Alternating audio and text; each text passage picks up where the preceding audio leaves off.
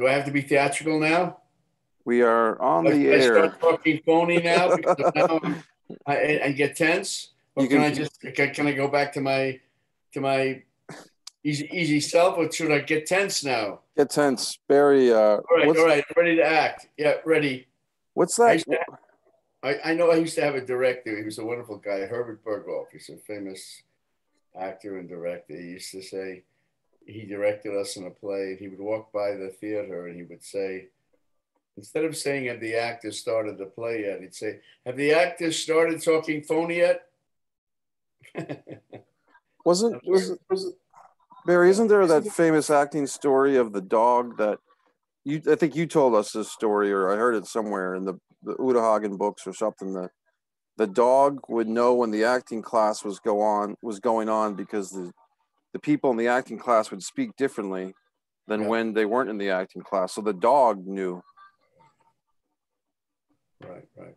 That's like a famous acting anecdote, right?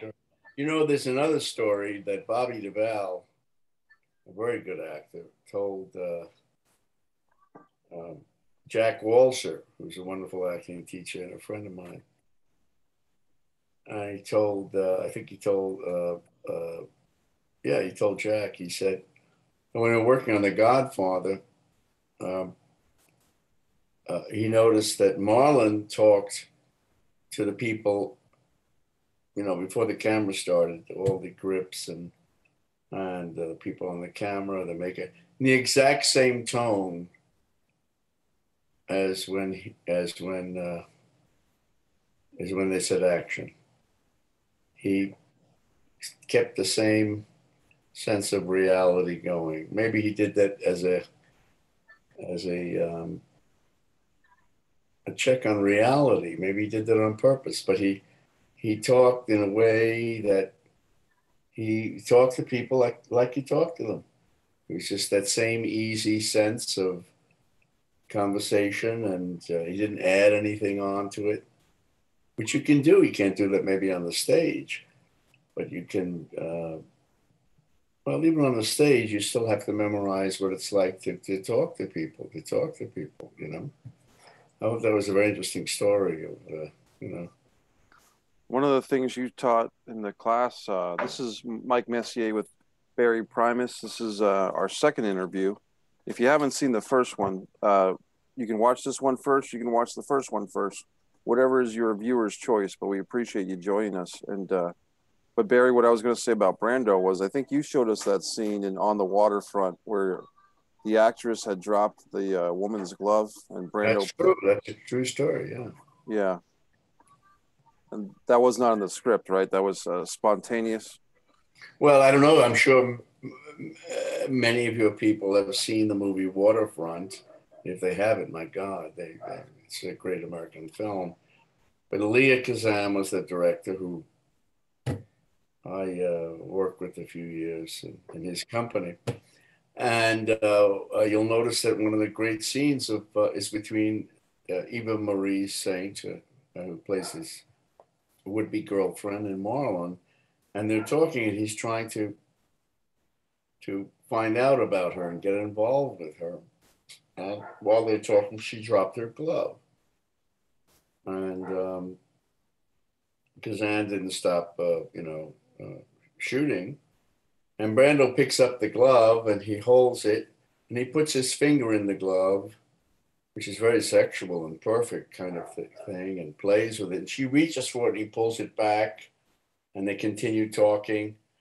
And if you'll see it, it's just a very um, um, well spontaneous because it was spontaneous, but it just a very um, unique piece of behavior that kind of gives away the whole action of what Marlon's trying to do and what she's trying to do, you know, and how frightened she is of him.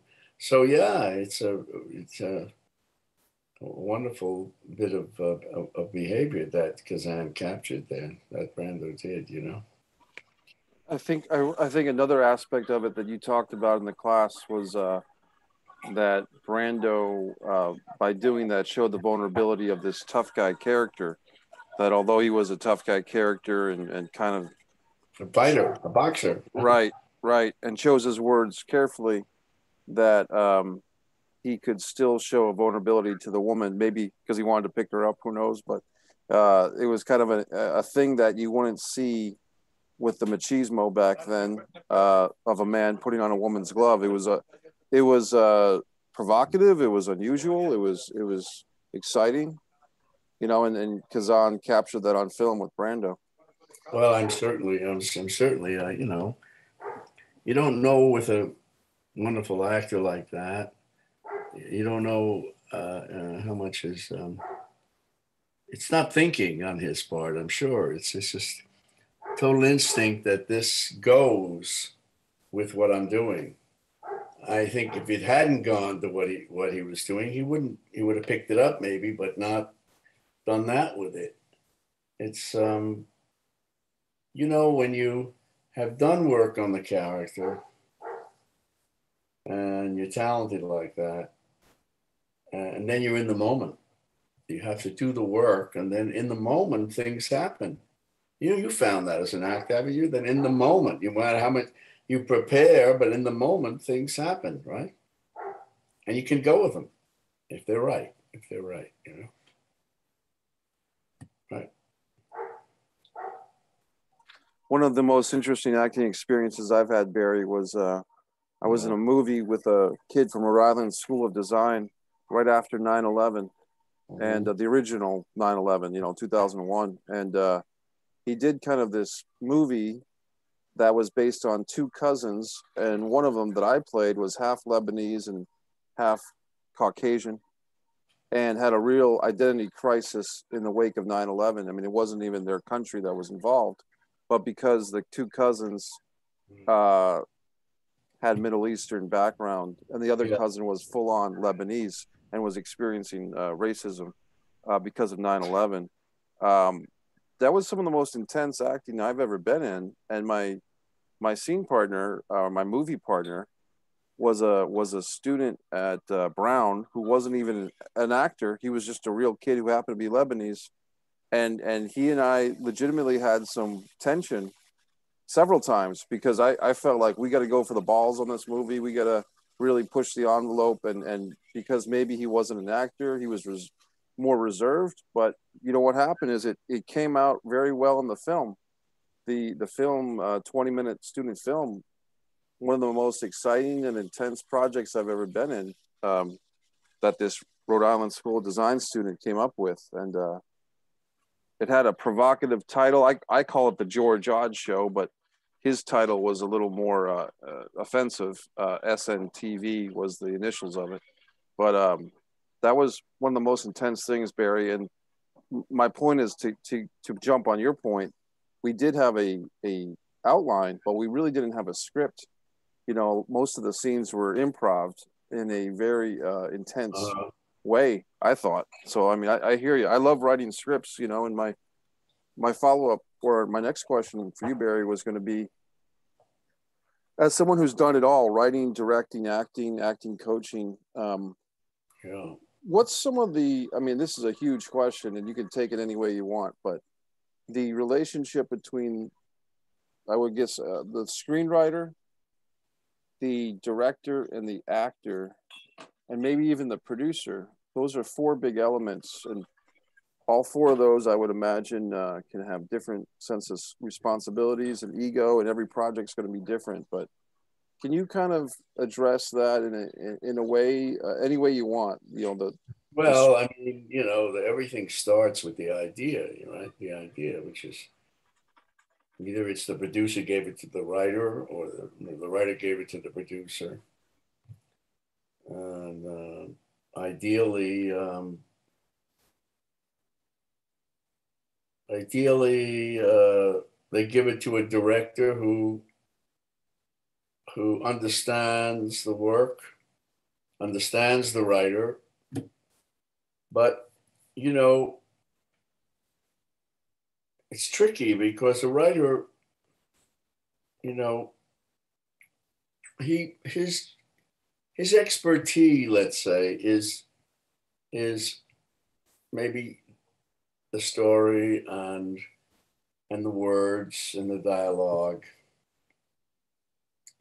but the, the director's job, the, his expertise is is human behavior, is to create behavior out of those words. Not, you know, it's not enough that the actors say the words. The behavior has to make the words. Right. It's out of the behavior that the words happen. So hopefully the director, with the understanding of the uh, of the understands the writer and the writer and he talk and, and this and that, and then the producer. There's all kinds of producers. There are producers who just give you the money. There are producers who are creative, who have, have thoughts. Um, a lot of it has to do, and you know this, it has to do with who has the power, who has the money, who has the power. You know, when the movie's all over, the director in my position, if unless it's his own movie like Mistress was, like mine, um, I'm working on a movie now where I don't have final cut, the final cut of the movie. You know, we, who, who who who will cut the movie, and then it's really dependent upon the producer whether he. Um, the Directors Guild gives you something like um, two cuts. You can make two cuts. That means you do one cut, and then I give you notes, and you do it another one. And if they're not, they don't like it, they can take it away from you. And then it's up to them to cut it and that depends what your relationship is and what the producer thinks. So it's uh, Mike, you know, question of you know each situation being you know what it is. You know, I, I in the project I'm working on, I'm trying to have a very good relationship this time with the creative with the producers so that so that they understand what I want to do and I understand maybe what they want so that we don't surprise each other. And then in the end, I know I can I could mistreat them all I want because we're shooting and they can't do anything usually.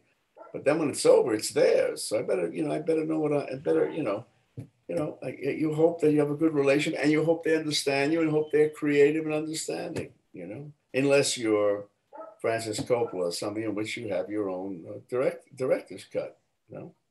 Barry, you just hit upon something about two minutes ago that I never heard before, but I, would love for you to expand on it because I'm not right now in the Directors Guild, and um, so yeah. my my question would be, you don't need to be in the Directors Guild if you're not not making movies.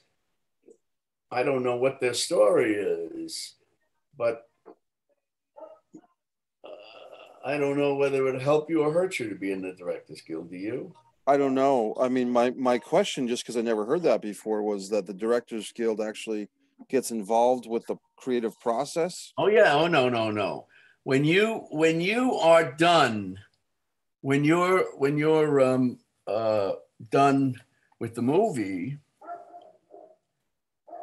Uh, in a in a commercial situation where you sign a a uh, you know you have a, a contract, the Directors Guild looks over your contract and then you sign the contract, the producer, um, you negotiate and you get like usually two cuts of what the movie is. So you have a, and you have a, a, a, a, a contract with the guild. The guild will will ask, will will uphold that for you. You know what I mean? They can't take it away from you and things like that. I think there's other things the guild does for you, like when you're a guild director, you, you have to have a, I think it's a, an AD who's guild and a UPA who's guild, and a unit uh, manager who's guild, unit, I don't know what they're called. But they also make sure you get residuals when it plays. Right. They protect you. I don't think they allow a producer to take over the film and direct it. That's uh, good. If they fire you, you get paid, you know, things like that. You know, they're a guild, they're a union, you know, and they protect you. Sure. Now, they don't get involved creatively. No, they're not going to tell you, no, what to do. No. But they will fight for your rights. Yes. Well, that's good. Yeah. I, I guess I was, I was uh, misunderstood. That's, that's what they do. Yeah. I was misunderstanding that. Well, okay. So um, I guess for some of the audience out there, um, people that are familiar with my own work and people that are friends of mine that are making their own films. Um, one thing that I I always caution my friends and myself is that you know on a limited budget uh, to even think about doing a film SAG-AFTRA, I I always I think that it's going to be three or four times the budget at least. Whatever money you could make it non-union, you're going to end up spending three to four times that amount if you go union. Well, you know, sometimes, Mike, sometimes, um, you know, it pays sometimes if the budget is very small. It, it, it pays to think about being SAG because you might get better actors or actors who are more experienced. And so the guilds now are extremely liberal and want people to work with them. So there's just about any budget at all they'll accept. And then, you know, I'm doing a movie now with my friends. We're doing a film, we're doing a feature that came from a short that I co wrote, which I can send you as a matter of fact. And, but we co wrote it, it became a feature. And now we have very little money, but we're going to do it. And, um, but we have a lot of actors in it, maybe, wow, 40, 35, 40. But we are going to pay the SAG low, low budget.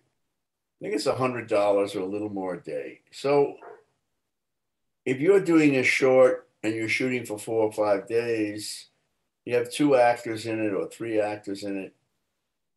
Um, it might pay you to to to to think about it. You know, of course, you have to then you know pay their insurance and this and that, so it's a little more. But the reason why people do it, uh, Mike, is because you have a larger range of actors. You know, that, that doesn't mean there aren't non non union people who who who non SAG people who are talented because there are. But oh, well, and, yeah. and there are SAG actors, by the way, who will work for non SAG. I'm sure you've used SAG actors, right? Who didn't didn't care. Well, well, you know what? The funny thing is, I haven't. I mean, the the one time I used uh, someone who was SAG-AFTRA was a great actress, and we went through the process of getting her a. Uh, no, we paid her. We paid her, and we paid the the rest of the cast. It was a one day shoot, but we we got a 20 minute short movie done in uh, one day, and um, one day of principal shooting, and we had some exteriors that the uh, DP Tim Labonte had before, and that uh, short film won three awards, The Impeccable, and uh, I feel good about it. So there's a lot of things out there that are uh, good. You want to do a, you really want to do a 20 minute movie in tw- in, in one day? That's we already we already did. It's already done. That's a lot of work. Well, we um, it was a lot of work, but we, Did you we have had, long takes. Did you have long takes? Yeah, we had long takes, but here's the thing, Barry. You know, from and not to uh, curtsy favor for you, but one of the things that I learned from your classes was the importance, for me at least, of rehearsal. No, that's, and that's we, I had the actors rehearsed. I think we rehearsed.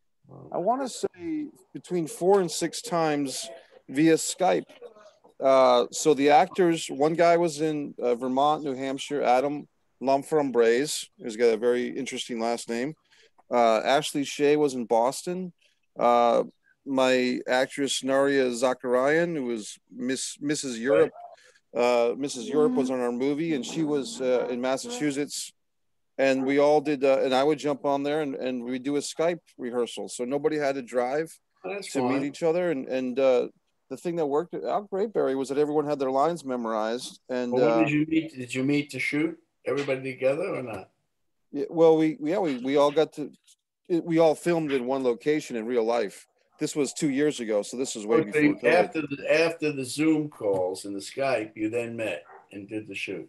Yes, for the actual filming, we met in person. Yeah, yeah. Yeah, well, see, those things are possible today. The world has changed. You were doing it before anybody was doing it, really. That's yeah. Great. Yeah, thanks. Yeah, but so I, I, I'm gonna, I'll send you a couple. Did you get my Zoom plays? I don't think I did, but I will. I'll send you. I made three Zoom plays for the Theater of the New City. Yeah, and uh, that's all. You know, we we never shot it. We just did Zoom the whole way. Now it's recorded. You know. Right. It's not, not quite the same thing, but remind me, I'll, I'll send them to you, right? I'll watch them. Uh, if there's something you want, if there's any of them that you want me to share with the audience, I'll put them on the, the website. It's up to you. You can you- put them up. Yeah, sure. Yeah. Put them up. Put them Yeah. up. They're when I when I met you, Barry, um, to give a little bit of the background, was uh, Maine media workshops, and you were teaching uh, acting techniques for directors. Mhm. And this is a class experience, really, that was a lot of fun for me, life changing, and I was always impressed by your energy level. That you were you were you were making us tired, and there was however many students in any given session but you were always kind of you were we had mosh pits. We were watching movies james franco playing um, james dean in a movie. Uh, i remember you know and uh, you showed us mistress you showed us audition tapes. And i guess what i'm hoping but i don't know this to be true is that whether it's in Maine media workshops or you know north carolina school of the arts or wherever it might be for people los angeles where you are that people have the opportunity to enjoy these type of rich acting directing experiences. Well, and i i just don't know if some of the people that i work with have even have either sought those experiences or have come across them uh, organically. no, well, um, Michael, uh, aren't- you trying to teach down there? well i i you know i was just getting my feet wet here in jacksonville. I was only here for about six months before covid struck. So um i've done uh, a caitlin's monologues with a lady from chicago. I did a interview with her and helped her with a monologue which is on the mike messier youtube channel once again. But as far as leading a real life in-person acting class that hasn't happened yet here but i'd like to do it Have you tried to talk to the schools or tried to, uh, you know, have, do they have an acting school down there? Well, from what I understand, there's two, but I wouldn't vouch for either one of them. I mean, from what I've seen, they're kind of competing with each other, and it's like uh, one's very, to to be succinct, one's very uh, motivated by money, and the other one is very self-important, from what I gather. So I would try to be somewhere uh, beyond either one of them if I were to do this on my own, and and that's well, just based on my probably as much, if not more, experience than they have. So right. I, I would, you know, maybe you could start by just a few people in your house and let it build or whatever it is, you know. I'm open for it because where I'm living actually does have a backyard that would that has plenty of That'll seats. Yeah. Well, you can't do anything about. How is the pandemic in Jacksonville? Well, you know what? Um, there are I I I have places that I go that I feel comfortable. The movie theater here is open. You go in, you wear a mask, you go see a movie, you sit down, you can take your mask off. I was in uh, I went to see the movie Scream tonight from 1996. They had it as a comeback classic, and uh, What, what what movie? Scream, the horror movie, Wes Craven Scream. All right, right, right, right. And I, I, this is funny, Barry. I had a reserved seat. I sat in the back row of the theater. One other guy comes into the movie theater and he has to sit right in front of me. So, I mean, it's always the way, right?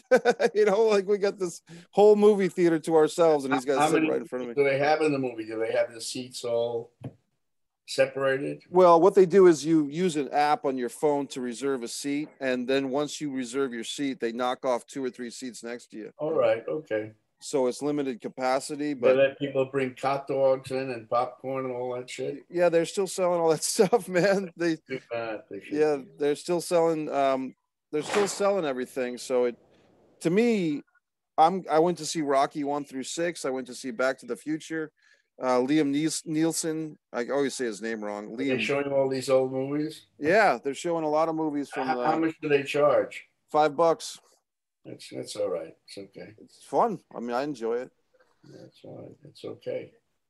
but um jacksonville still has a pulse you know like i i had left new england and uh you know from the reports i get from my family and my friends up there new england's really been suffering uh through this pandemic Yeah, worse sure. than florida and um with time restrictions and and you can't go from massachusetts to rhode island and Oh, really?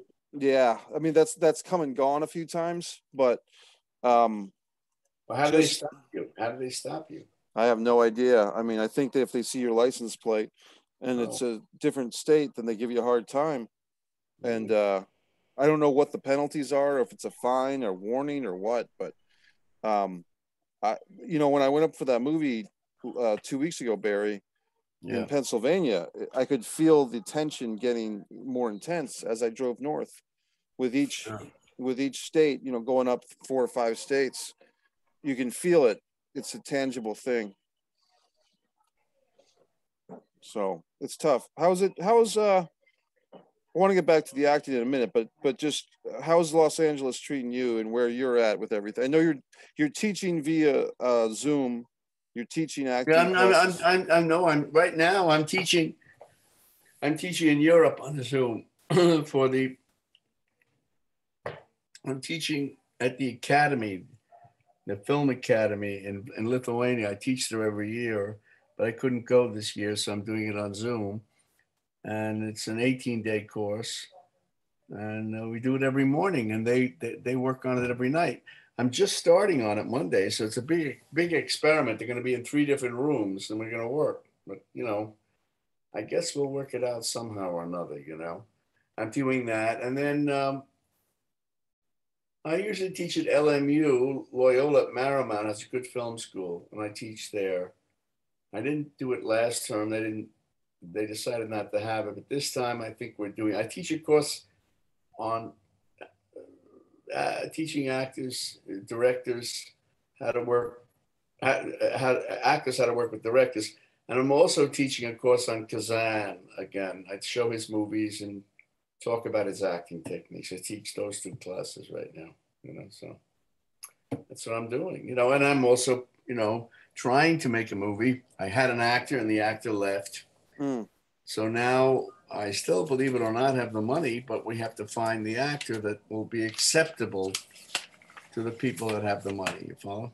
Yes, you need you need someone who's got the name value That's Yeah. right. right, and that's that's an aspect of filmmaking that sometimes very people outside the business don't understand. The term you used to use was civilians, which I always got a kick out of the uh, the people outside the film industry. But Well, you know, it's, like any business; they want to guarantee that their money can come back. You know, and and in their mind, they want those few people who have name value. And now I'm doing another movie. I think I told you from something I wrote, and and the director and I uh, are going ahead with making this movie. And that movie's going to have very wonderful actors in it, and maybe one actor with a name, and we still are doing it anyway. And and it's just that at that level of filmmaking, and the script is very good, and the actors are good. At that level of filmmaking, if the movie is made for as little money as we're making it for, I think there's no way that anybody who invests in it won't get their money back. There's just so many venues that it could be sold in. You know? Was that the one that? Correct me if I'm wrong, but is that the one that that was kind of based on your experiences at the film workshops in Maine? No, that one I'm still trying to make. Okay. That it's interesting you brought that up. though. that I'm still trying to make.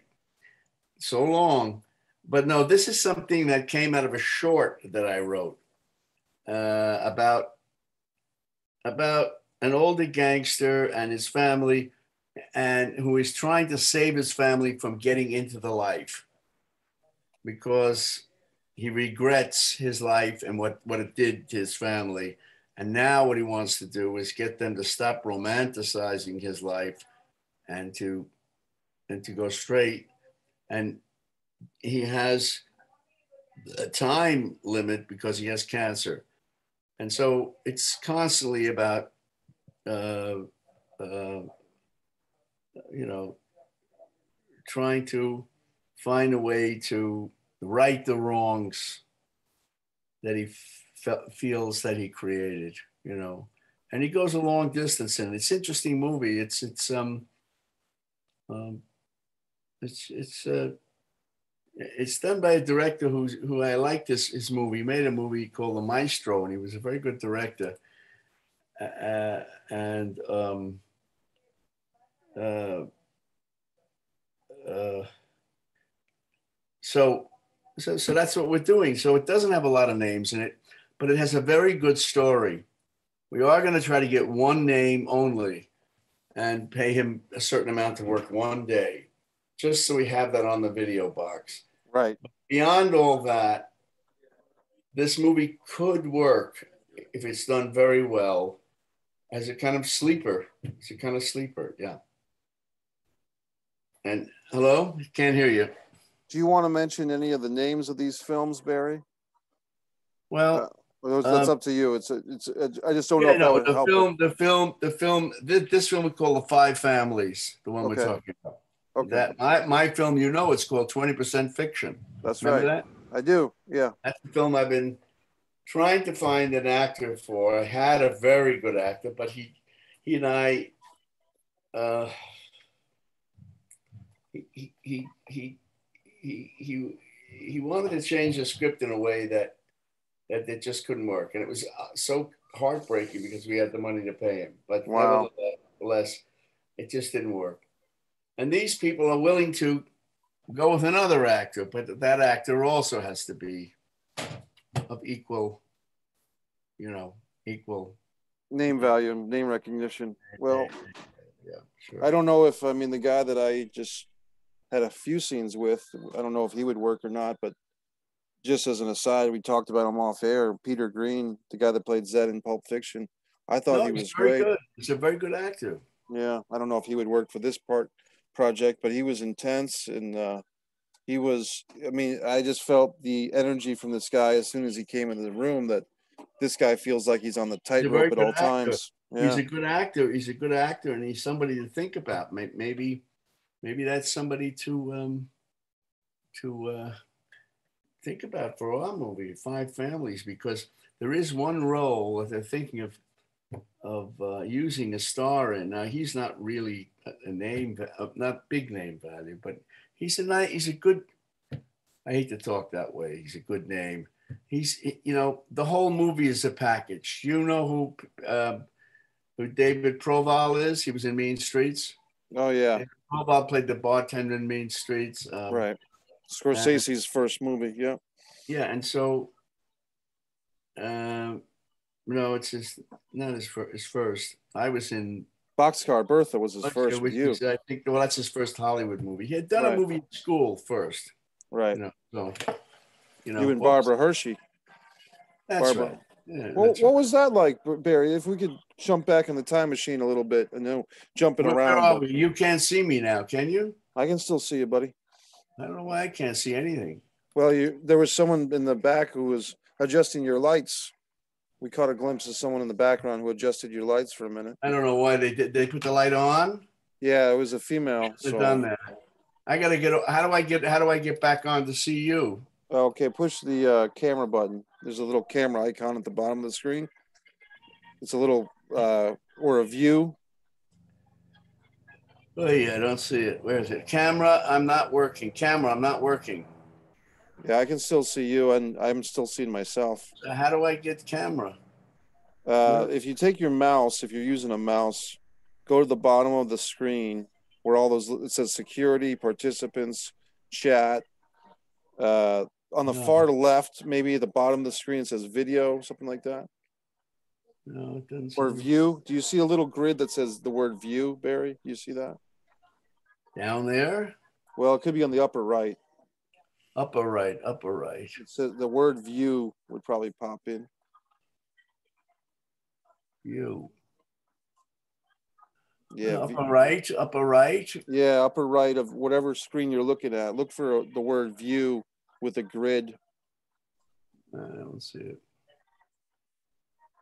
Uh, I don't see it. No, no, no. I, I can see it. We're still recording. I can see you fine, and I can see myself fine. Well, don't worry about it. Then we'll just we'll just go on talking. Don't worry. Yeah, you can.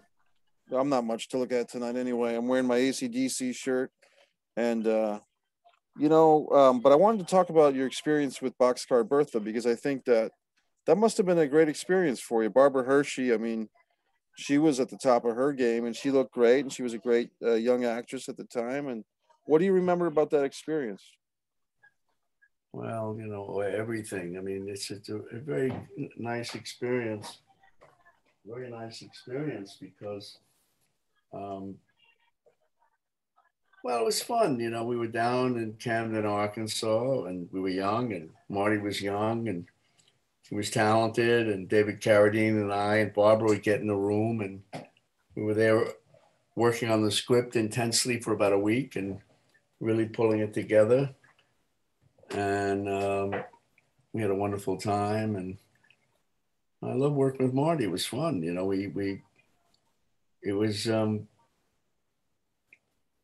uh, we could see that Marty was a very special, you know, had a special energy to him, and I love the character. You know, I played a guy not different than Marty who would come from New York down south and didn't know what the hell he was going on. He didn't know anything about guns. He, he was joined a gang, right? And he was kind of a coward, so it was fun. And Marty always described it as um, the Wizard of Oz. That I, I was the cowardly lion, you know, and uh, we, we all had a great time. We we bonded together in that little town. There wasn't much to do but count the parking meters. It's just right a couple of blocks of parking meters. And I I like being in the uh, South. I like the South in general. It's so exotic. Yeah. And all the locations were very interesting. All of them, all of them were very interesting. matter of fact, we shot in that kind of a, a jail right in town, which was horrible. You know, old fashioned, really horrible jail, but we shot in it. It was interesting, and um, you know, we it was you felt that Marty was special. You know, we we um, there's a certain intensity, and certain intensity. You you knew that Marty was going to be something special, and you knew you know the movie was a B movie. We made it in what 21 days or something for Roger Corman. And it was reviewed in the New York Times as being a very special movie. They noticed that it was um, not just a B film, but that had, you know, it had all of Marty's themes in it. The crucifixion at the end, and uh, do you remember the movie? No? Yeah, I remember watching it at some point in in between the summers that I was going up to Maine yeah, and seeing yeah. it. So I remember it, it had all of Marty, Marty's major themes in it, right? And uh, and uh, this, you know, I think was the fun of filmmaking. We were, we were flying at the, with the seat of our pants. Right. But with a very good general in command. And that's a wonderful feeling when you have, you know, somebody who you trust is, is leading you a certain direction, but giving you a lot of freedom. There was a lot of freedom within the movie. And uh, I always feel better when I'm involved in, in, in, in the actual writing of it, in the actual shaping of the character. And Marty uh, certainly allowed that with all of us, us to have, you know, he used everybody for, for who they were in a lot of ways, you know. So it was, oh God, somebody scared me. Sorry. And and um, this is my wife Julie. Julie. Yeah. You changed the lighting in here by putting on that light. Shut that light. Shut it. Shut it. You shut. You turn the light on in here. That's better. Oh. Oh, okay. Isn't that better, Michael? Yeah, that's good, buddy. Thank you. Hi, I, Julie. I, no, don't. Oh, okay. It's fine. Can you see me well, right? I, I can see you fine, buddy. Yeah, I can see you. It seems like you got a table full of scripts, which I would imagine you would. Yes, I have a lot of that stuff. table full of scripts. Table full of scripts waiting to be, be the done. title of your memoir, right? Or, yes. or yeah, table, yeah, yeah, table full of scripts. Some of them uh, are the same. Some of them are my own scripts, so there's many versions of them. You know. Oh yeah, I know what that's like. Yeah. You know that that business when you write a script, you don't write it once. You write draft after draft. They say it isn't writing; it's it's rewriting, right? So. Yeah, I, I have one one of my screenplays. I have my my master 105 page version, which I think will never get made, and then I have my 80 page version, which maybe has a shot. So I know what you mean, you know. Yeah, yeah, yeah, yeah. Well, I've been cutting pages from one of my scripts, you know, too. And after a while, you know, they.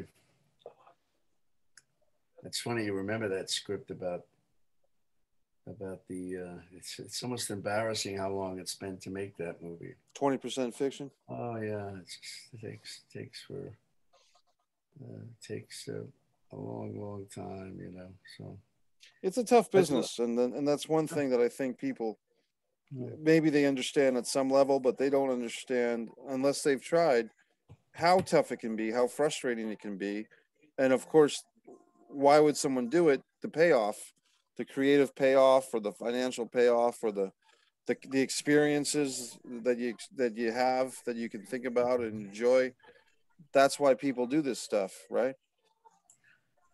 Well, yeah, I mean, yeah, I mean, yeah, sure. I mean, uh, it's you know, with me, I think that that that that that particular movie, for instance, is changed as I've changed. It's like a diary almost, you know, and changing as my life changes. Um, you know, I've been doing it so long since I'm a kid that I, I mean, acting or directing or teaching or all of it that um,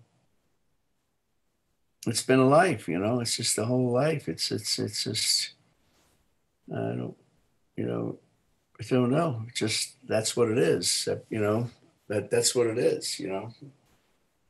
It's you know Shakespeare. All of Shakespeare's writing is about the theater Right. you know we are such you know i mean um the seven acts of of of of, of man and you know um life's but a poor player that struts and frets his hour upon the stage and then is heard no more. So everything he relates to in terms of the theater because he was a theater man you know? And i guess i i uh that's become part of my psyche, you know. I do. I hear you. And uh, well, you have that too now. You, you, you know, you have that too, you know. It's it's it's interesting, Barry, how things have uh, changed, but they haven't. You know, and and even in this pandemic time, which I'm hoping is over relatively soon. It might be a year, or it might be more. Who knows? But eventually, it will be over. Um, but I think about the fact that, in for instance, even in my area, live theater pretty much is at a halt right now.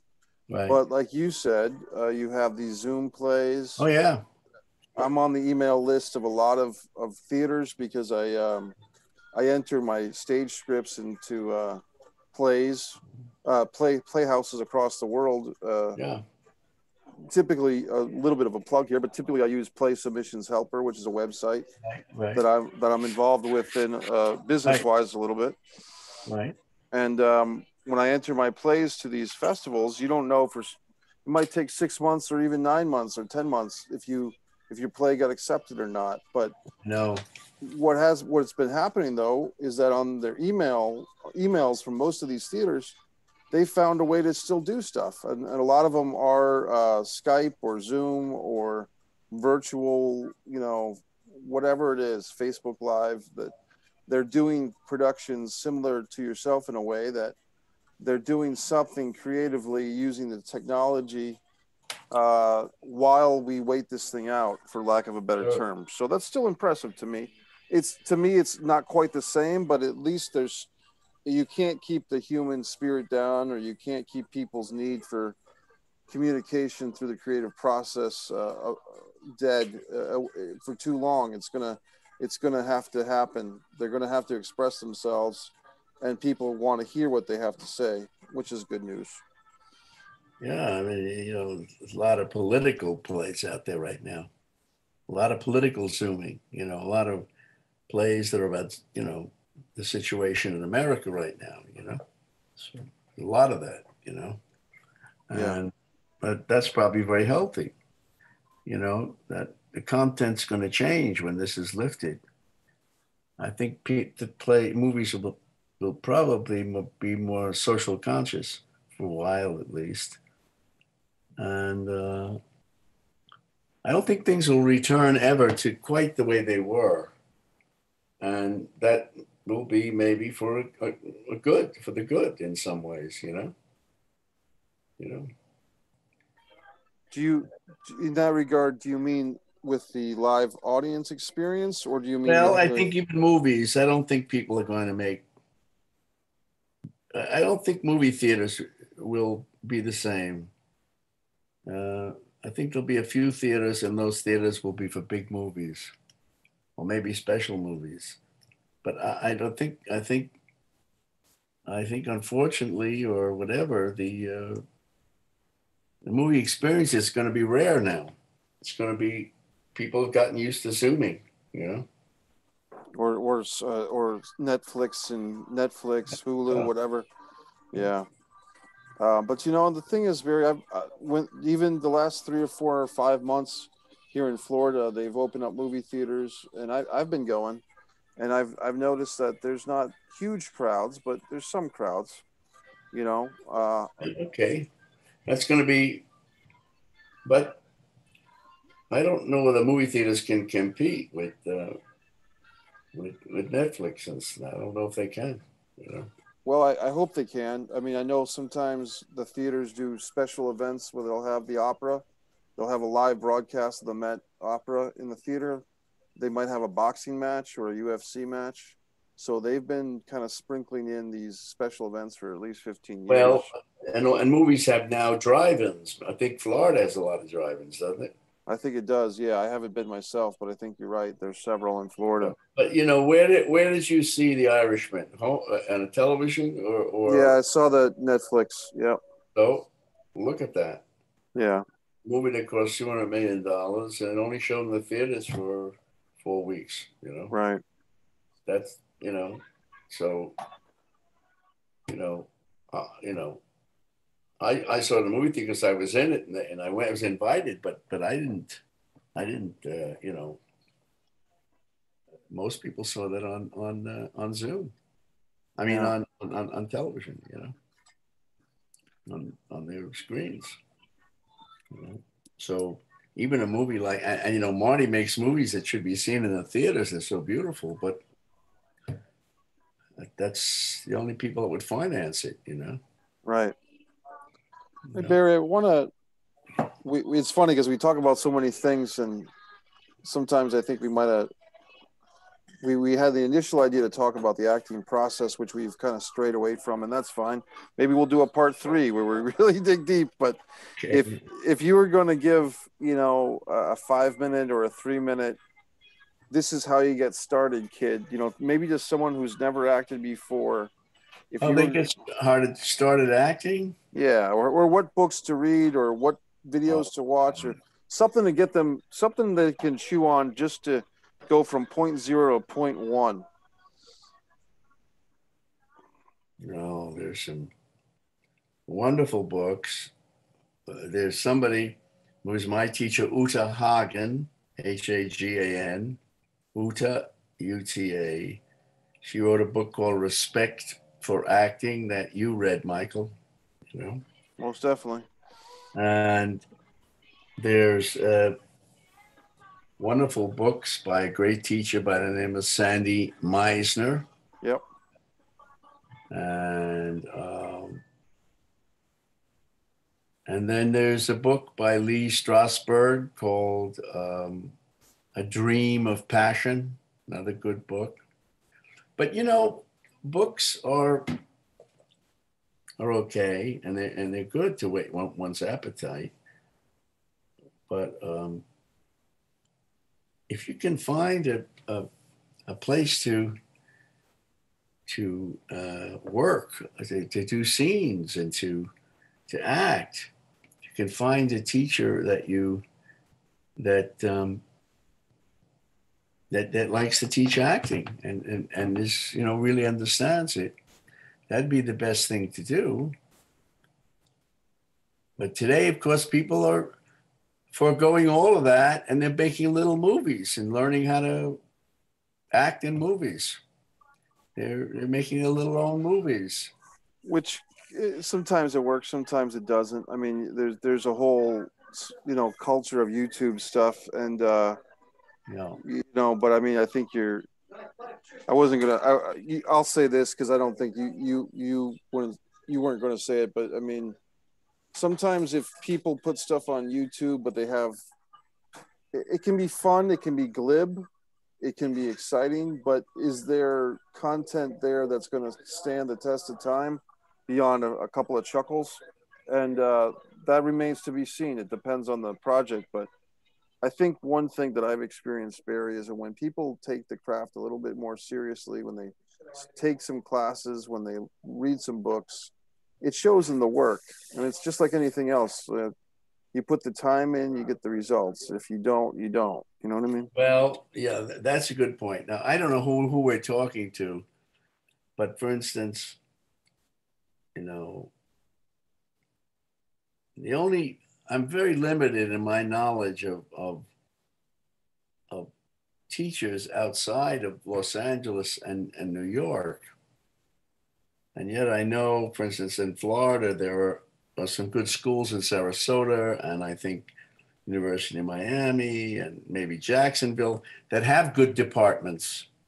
And maybe in each of the city, there's some wonderful acting teacher that I don't know of.